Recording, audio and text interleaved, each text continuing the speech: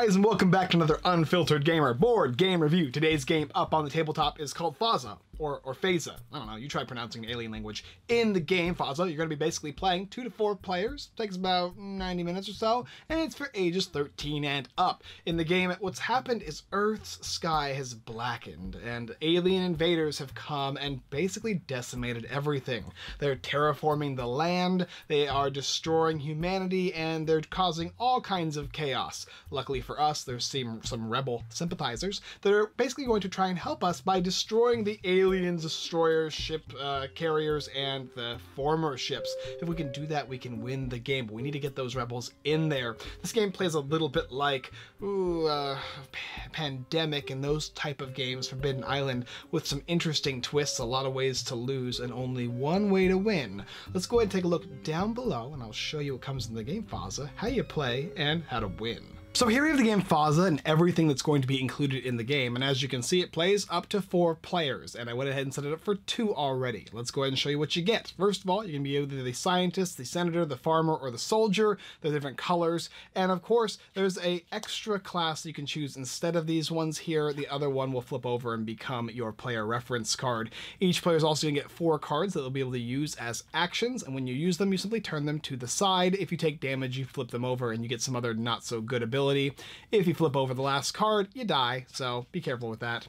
Additionally, you're going to be getting this board here along with drone tokens. Drone tokens are yellow, and rebel tokens are purple. Rebels are going to be what help you throughout the game to defeat these motherships, and you're going to have a character as well. I have the red and the green character already located on the board based on 1, 2, 3, and 4, and the color associated. So green is going to be 1, red will be 2, and uh, let's see if I can find 3 3 is blue, and so 4 is going to be yellow.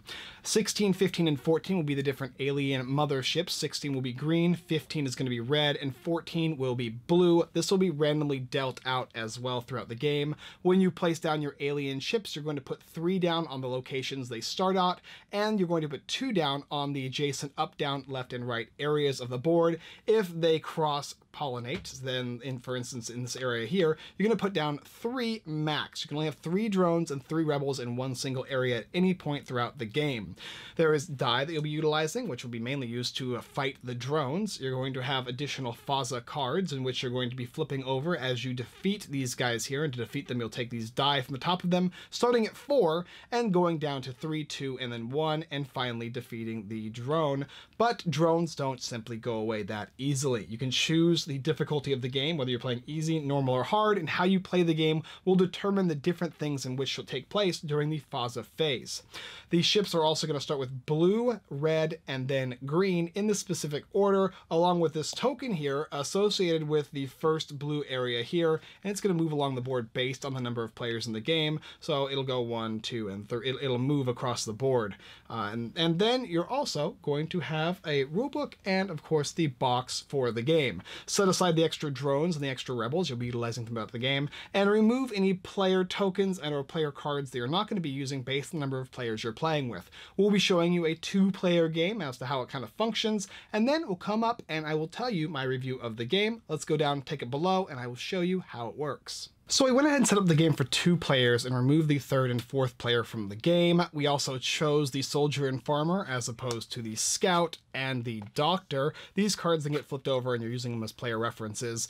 And you're pretty much ready to go. Don't forget to also put two rebels on each of the player's starting areas. Uh, let's go ahead and talk about how to win the game really quick. To win the game, you have to get all of these die to zero from these motherships. And if you can do that, you win. When you kill a mothership, you flip it over and it becomes a destroyed mothership.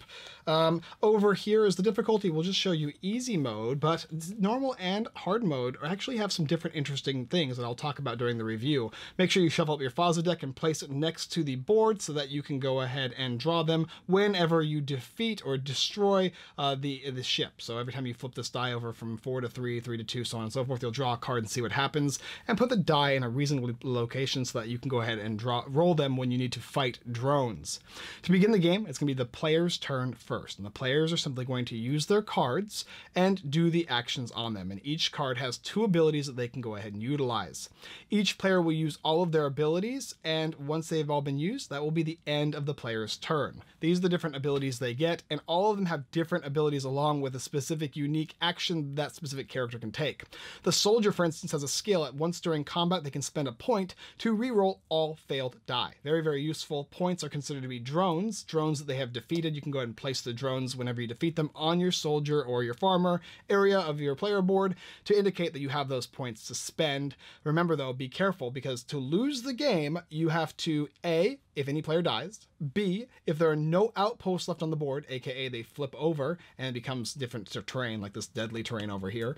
Uh, C, if no drone can be placed on the board, regardless of whether they're in a pool here or on your player board. If you can't place it down on this board here, then you're going to suffer uh, a severe severe loss. And then um, there's of course additional loss conditions and whatnot for the different player difficulty levels.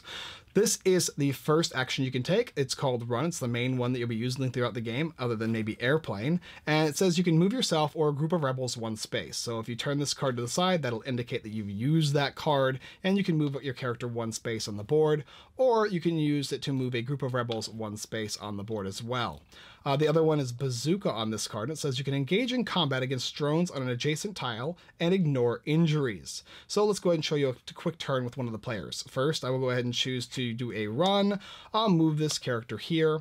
And secondly, I'm going to engage in combat. Every player can do any of these abilities anytime they want throughout their turn for free. You can use a player card. Sometimes they're going to be these guys here. You can engage in drones in combat, which is pretty simple. I'll show you that right now. Based on the number of drones, how many die you get. So there's two drones here and one character. Roll these die and you need four up. Four up is going to defeat them. Nice. That would defeat them right there. If you rolled something like a four and a three, you would suffer one injury. And to suffer an injury, you have to flip over one of your cards and you'll get new abilities that are not as good. So you have to be careful with that. But luckily, I rolled a four and a five. So that would destroy these guys here. Very, very useful. Another thing, too, like I said, is bazooka. So if these two guys were there and I wanted to use the bazooka as well as during my attack, I could simply roll the die and oh, I got it again. But if I got this, I would kill one of them and ignore that, and I wouldn't suffer a wound because I used my bazooka card. Very, very nice. Uh, another thing you can do is use airplane. It allows you to move yourself or a group of rebels up to two spaces, uh, two tiles. And you also can skip adjacent spaces, which is pretty nice. Uh, the other one is Ray gun over here, and it says use before you engage in combat to add a plus one to all your dies rolled against drones. And then the last one over here is the same thing as well. Some players have different things, like this character can heal, and he can also teleport. So depending on the color and uh, the class you have is going to depend on what specific passive ability you get, as well as specific cards and their abilities. If you have a card flipped over, you can have hobble, which just means you can just move yourself one tile and you can't move rebels with uh, while injured. And this is recover. It'll actually let you, if you're at an outpost, to let you recover. If you're on a tile with drones, you cannot move off that tile until you defeat the drones. If all players have utilized all of their abilities, then it's going to go to the Faza phase, in which case it's going to be based on the number of players as to how many times this moves. You'll look at this card here and it'll tell you the mothership will move. Repeat the following times as many, as many as there are players. Shift the movement tracker once to the right, and then the mothership uh, will, with the tracker, activates. So this tracker is here. This will activate this specific mothership. It will allow this mothership to move, and it's going to be based on this little uh, movement area over here. It says move the destroyer up to two tiles um, closer to the closest player. So in this case, it would go one and two. Um, and uh, it says a highest number tile will break the tie. So if there was a character in this area here and an area, this area here, this would be 15 and this would be 2, so he would go up. After he's moved, he will kill all rebels on the tile. So he would go ahead and do this, whoop, and destroy the rebels. All players on this tile will suffer an injury, so red would suffer an injury. And whenever you take an injury, depending on which way your your cards are lo- are, are uh, situated, you're going to flip them over. So in this case, it would flip like that. If it was like this, it would flip like this. So he would do that. Uh, then he would drop three drones. You'll take three from the supply and you'll place them down on the board just like that. That makes it much more difficult for red here to deal with. After that happens, you'll take this thing and move it one more time for the second player, and you will move the former. And this thing here is what's going to be terraforming the, the land. First of all, it will uh, move the former to the nearest tile that's not yet terraformed or phasaformed, and the highest number will break ties. So this is a 3, 7, and a 10, so it will go this way here, and then it's going to go ahead and flip over that specific tile, terraforming it into not good stuff, into wasteland basically. Ooh, and it's a deadly area. Deadly areas will make you take damage when you when you're on them. Uh, so that would be that, and make sure you leave your drones there. After that, it says move the ship again. And so you've got a six and a two. So he will move this way over here. And once again, flip this thing over here. After that, he's going to go ahead and drop two drones onto the board. So it would go just like that. All right. Then, oh, this guy puts like there. Uh, and then after that, uh, that has been the two movements, one and two for the two different players, in which case all players are going to regain their cards. You're going to shift them all back face up just like this. And if you have taken damage, it still stays on the flip side until you're able, able to recover by using an action. And then you would continue the game. Another thing to note too is these, so for instance, this guy here, he had defeated two dudes. So uh, we'll just put them over here. When you have these things as currency, you can spend them to recruit rebels. So for two for one, you can place a rebel on an area. Rebels can prevent you from taking damage by removing them, and they also have a special some other special abilities that you can utilize based on your characters. Uh, you can command a rebel to attack the mothership. So for instance, if you have a rebel on the same space as a mothership and there were no drones, you could, if you wanted to, remove the rebel and damage the mothership. And that's a free action. You'll simply go from four and you'll move it to three. And whenever a mothership takes damage, you're going to draw a Faza card. This card here is called a long a Faza card, in which case you will do what it says on the top, and then you're going to place it somewhere that it says to do so. So this one says add two drones, in which case this specific mothership will add two drones. And then this one here specifically says the Faza create a time warp generator allowing this mothership to move twice as fast. Place this uh, onto the mothership that was damaged. It will now activate an additional time uh, with the movement tracker. So we'll go to the blue, you'll attach it to this specific mothership. And the only way to get rid of this guy is two times two plus X. X is the number of players based on the currency. So if you had four currency, you can remove this card from the game. There's other cards as well. This one here is a reward, which means it gives you some kind of bonus, but it also does does that add to drones effect. This one here is a instant, which means it takes place as soon as you draw it, and sometimes it'll do stuff like you'll take an injury or whatnot. And then the final type is going to be a short one. This one basically says that it's going to last until the next card is drawn. The files that deploy precision patrols. Every time a player enters an even numbered tile, add one drone to that tile. So these cards are usually not going to be good, but sometimes they're going to be rewards as well. And the game will progress like that. Players will then again take their turns until they've all utilized all of their actions. The Foz is going to go ahead and move and have all the motherships move and terraform. And the game will continue until one of the conditions of ending the game have been met. For instance, if all these tiles are flipped, game over, these guys are going to be the winners. If all of these enter the field or cannot be placed, these guys will also win, the bad guys will win. And then if any player dies, the other the players will lose as well. The only way the players win is by removing the die from these things and basically destroying the motherships. But when you destroy them, you simply flip them over and they will still activate doing certain things to kind of end the game. In this case, this one's here, here will add one drone to every player's location, as well as remove two drones from the pool and place them on here. Like I said, when these guys are all removed, the game is over. So you have to be careful when you destroy these and how you destroy them. And that is the basic idea for the game. If you can destroy all these ships before they go around the board, destroying everything and ruining your day, you're going to win the game. If you can't and lose to any of these conditions, then you have to start over and try again on probably an easier difficulty level. Let's come up, I'll tell you about normal and hard mode, and then I'll say what I think about the game. So let's go ahead and discuss some caveats for the game before we get into my review and discussion about the normal, medium, and uh, normal and hard modes. I already talked about the easy modes. Uh, and the first one is when you have a character that is on a tile of the same color, your combat bonus is increased by one, so all your die get a plus one bonus. That's very important, and I did not want to miss that. Uh, normal mode is going to include something along the lines of the Faza Taxa players. If you're on a tile with a drone or a mothership, you sustain an injury, uh, as opposed to in the other version you don't. And then the other one here is the hard mode, and that one says that uh, not only do you just sustain an injury if there is a drone or mothership on your board, but you can also uh, just drones destroy rebels. So if they're on the same space, it will also do, do damage that way. These are pretty pretty crazy, uh, and also add a drone to every space with a with uh, with a rebel. So uh, it gets much more challenging with the different difficulties that you choose to play with. We mainly played on normal mode. We lost on hard mode, and we easily did well on easy mode. So it worked out pretty well. The game has quite a few characters to choose from. I believe there's a total of eight, and you can kind of use them interchangeably. It's up to you how you want to. Their passive abilities are very different, along with the choice of cards and how you want to utilize them. Ray gun and airplane, or teleport and heal are definitely different actions, so choosing the playstyle that works best for you is important. In this game, the most important thing is determining when and how you want to defeat these motherships, because it's very likely that you can defeat at least one or two of them, but it's how you want to do so and when, based on the board's state, and being careful to choose your actions wisely. If you don't, you're going to suffer serious injury and potentially die as well.